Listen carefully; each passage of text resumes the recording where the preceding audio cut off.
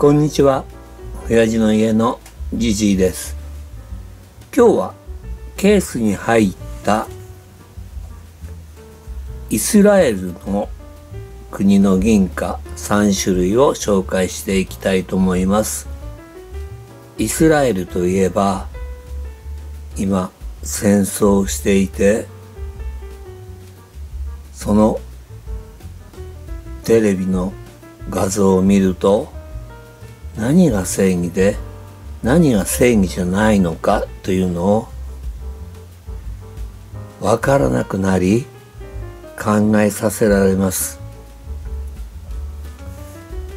では最初にこの黄色いやつから開いていきます。最初はこれです。10リドと1975年。直径が 34mm 重さ 20g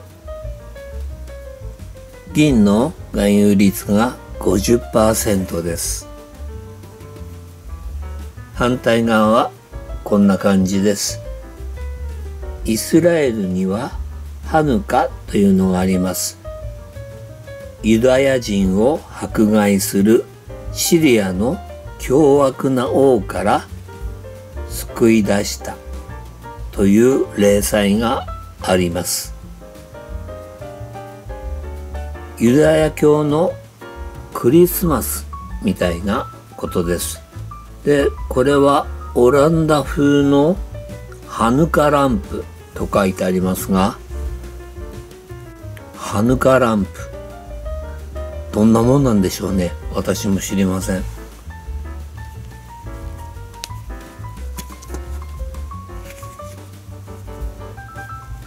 もう一度こちら側から見ていきます。10その下に書いてあるこの辺の文字。これがなんとなくカタカナに見えますよね。逆さまの面が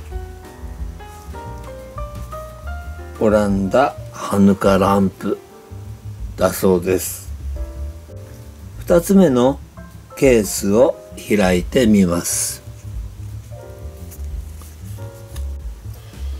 これは25リロット1977年。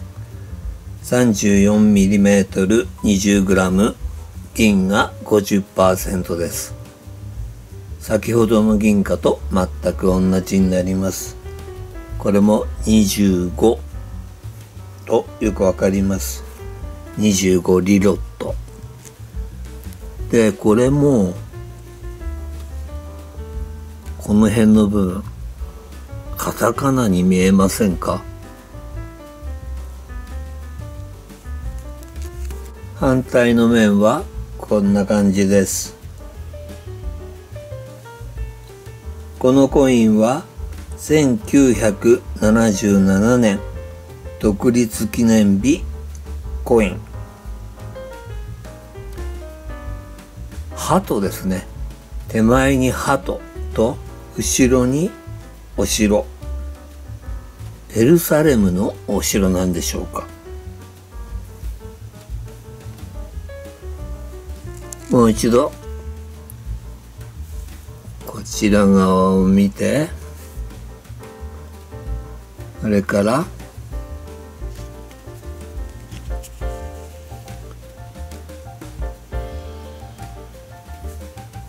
こっちも見てみました。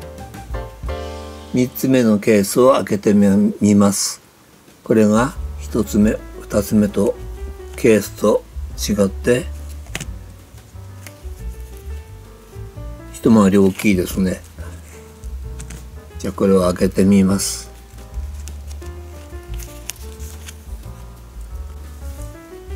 はいこちらもこんな感じです。これがイスラエル西リング1981年。37mm 重さが 28.8g です。こちらは銀の含有量が多くて850、85%の銀です。で、この辺、この辺もなんだかカタカナに見えませんか？こちらはイスラエル独立3周年記念日聖書の人々とタイトルがついていますが、これ聖書。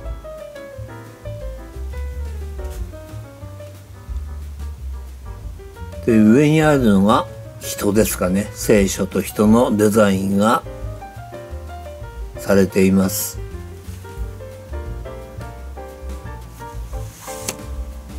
もう一度。これは何なんですかね。こう、指にも見えますけど、違いますよね。よくわからない。で、こちら側が、これはよくわかりますね。聖書と人々。今日はこの3種類のケースに入ったイスラエルの銀貨を紹介しました。何を間違えたのかイスラエルの銀貨がこれ以外に二十何種も届いてしまいました。折に触れてイスラエルの銀貨を紹介していきたいと思います。それではバイバイ